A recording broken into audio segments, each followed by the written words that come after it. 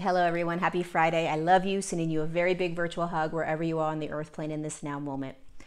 All right, this message is about shedding light on some human behaviors that are going to continue to get louder and louder in order for us to dismantle them or shift the human collective. These are behaviors that we've been noticing for a while, and they're just going to get louder and louder and louder. So, first, before I begin this message, there are three truths or notions that you have to hold in order for this message to make sense. If you don't believe these three notions, these three truths, the message isn't going to make sense to you. One, the earth and humanity is shifting into higher states of consciousness, evolving the human collective, ascending. Two, every behavior you have is a choice. You are choosing every behavior. Three, behaviors are states of consciousness playing out in physicality. Now, if you hold all three of those notions, then you are consciously participating in the evolution of human consciousness. Now, if you're still on board, you are noticing perhaps that there is a massive split occurring. It's becoming very obvious humans that are holding higher states of consciousness and humans that are not holding higher states of consciousness. Because you yourself may be continuing to hold higher states of consciousness, which means you're looking at you, you're working on you, you're clearing your shadow and your trauma, you're bringing everything back to you. But there are many, many humans that aren't able to do the internal work yet that it requires to move into higher states of consciousness.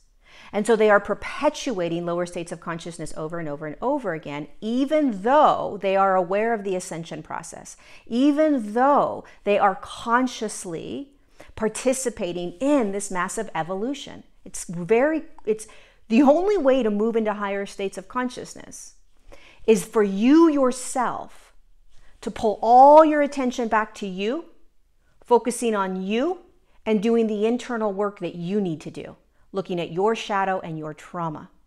And many humans that are consciously ascending, that are aware of the 3D and 5D, that are even in this spiritual community, many in the spiritual community, and in many communities that are awakened, have a hard time going in and really diving deep into their trauma because it's not fun. So here's the part that I want to talk about the juiciness. There are behaviors right now that are going to get louder and louder and louder. And these behaviors are perpetuating lower states of consciousness by humans that are acutely aware of this evolution in consciousness. And so it's confusing if they're spiritual teachers or if they are self help teachers or if they are dot, dot, dot, they must know. And yet, if you watch behaviors the way they are being, it's in a lower state of consciousness. And let me explain that to you. So, and this is just in general, this isn't necessarily like spiritual teachers or self help teachers. I'm talking about like anyone, basically, okay? A higher state of consciousness is feels expans- expansive. It feels light. It feels joyful. It feels open. It feels loving, compassionate, empathic. Um, it feels present moment. It feels very self centered, meaning sovereign, not about other people, right? Uh, very calm. You can feel higher states of consciousness. Lower states of consciousness feel very external, right? It's tighter, it's restrictive. Um, it's a little bit uh, more agitated or irritable right? You can feel these lower states of consciousness. It's it's blaming others uh, playing in victimhood etc etc now we're all moving back and forth between these but i bring this up to bring awareness to what exactly it feels like when you are experiencing or being in higher states or in lower states and watching another human be in higher states or lower states. So here's what i want to ask you if humans consciously participating in this or even unconsciously participating in this human evolution, okay? If they are doing these behaviors, and I'm going to dot, dot, dot the behaviors right now, what consciousness, what state of consciousness are they actually perpetuating? If a human is name calling, what state of consciousness are they perpetuating? If they are bullying, what state of consciousness are they perpetuating? If they are calling another human names, what state of consciousness are they perpetuating? If they are trying to bring someone down, what kind of state of consciousness are they perpetuating? If they are trying to make somebody wrong, what state of consciousness are they perpetuating? You see, this massive divide that we're experiencing, this split, is going to get louder and louder. And if you are participating in the divide and the split, then you are going after your name calling, bullying, trying to belittle, break someone down, arguing. I put up a post the other day, and the amount of name calling, belittling, and arguing that is happening because another human doesn't hold the same awareness or truth as you is, is perpetuating the divide. It's perpetuating the lower states of consciousness. And we are here as consciously ascending humans to evolve out of those behaviors. And the only way to evolve out of those behaviors is to recognize if you or someone else is being it. And this isn't about a right or wrong. This isn't about a good or bad. This is strictly about experiencing states of consciousness and the intention that you have as a human and the intention that you have as a being of light, being in human form, for being here right now.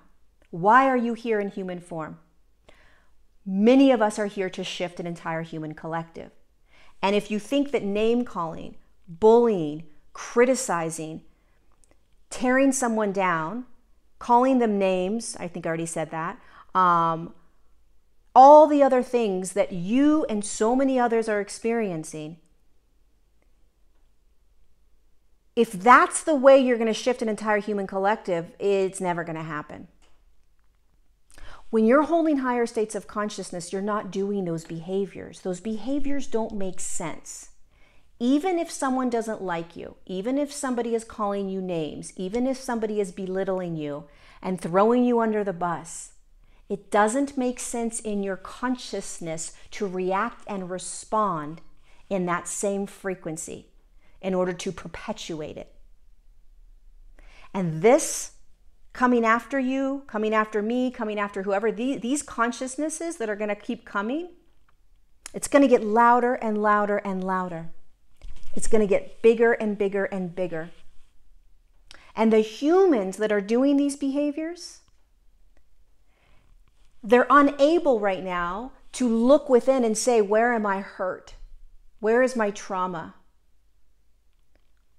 Where am I in pain? What is this saying about me? If Lorie triggers me, what is that saying about me right now? Because it all comes back to us, always. It's always about us. Meaning, the way I respond, react, and behave has everything to do with me and nothing to do with the other person. When people belittle me, name call me, call me out, put up posts, you know, do a whole whatever they're going to do about me, the last thing I'm going to do is rebuttal or go after them or call them names. That doesn't make sense to me. That, that behavior doesn't make sense to me. There are many people that I don't agree with, but I don't go after them. I don't belittle them. I don't name call them. So the reason I'm bringing this up is this is going to get louder, and we have to start to recognize that this is actually all about shifting an entire human collective and being, having behaviors that are reflective of our states of consciousness. What states of consciousness are you choosing? What states of consciousness are you, are you choosing to put yourself in? And then why? Does it feel good? When someone triggers you with, with information or truths that are theirs and not yours, how are you responding?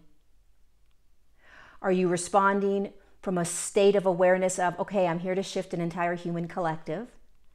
Is my behavior going to reflect that? Sometimes it is, sometimes it isn't. It's not always reflective in me, but I'm always aware. I'm always observing. The light's going away. I'm always observing my behavior, how I am responding. I'm always feeling what it feels like. Always. So pay attention. It's going to get loud in this spiritual community. It's going to get loud in a lot of communities scientific community, the political community, right? All kinds of communities. It's going to get louder and louder that divide, and people being, people being, people are going to get um, kind of, uh, they're, they're going to, people are going to go after people. They're going to go after you. They're going to go after people. It's just the rattling of their consciousness. It's the awakening process, and it's not always fun and it's not always easy. But can we do our best to pay attention to our behaviors? We're only responsible for us. We're only responsible for how we react and respond and behave. We're not responsible for anyone else. And the way we shift ourselves into heaven on earth, which is where we're going, the way we move to heaven on earth is to pay attention to the ways we are being and the states of consciousness we are being in every now moment. You can't, energy and consciousness doesn't lie. Doesn't lie, meaning you will know what someone's behavior, what state of consciousness someone's behavior is based on by how it feels. So thank you for being here with me. I love you so much. And um, we got this. Let the divide get louder because it only allows us to unify. We only can unify when we see that which we have been in. Right? And we change our behaviors and we choose higher states of consciousness unity, compassion, love. Just to try those things as much as you can in your now moments. Unity, compassion, and love. Unity means I allow everyone to have their truth. My truth doesn't mean to be anyone else's truth. You can have your opinion, I can have my opinion. Someone messaged me the other day, last night, beautiful woman, I forgot her name, and she says, Hey, I just want to let you know that I, I called you a, a name. I was really mean to you on your post. And I, I'm, I'm sorry that I did that and I took the post down. I was like, oh my God, I love you so much. Thank you for even having the courage to tell me. I encourage all truths and beliefs that aren't like mine. I encourage it but not from a belittling, name calling, rude way, not from a lower state of consciousness. You can share your opinions with others, you can share your truths with others, even if it's not theirs, from a state of compassion, empathy, and love. And that is what we are learning. Practice. I love you. Thank you for being here. I'll see you next time. Be gentle with yourself and be gentle with the entire human collective.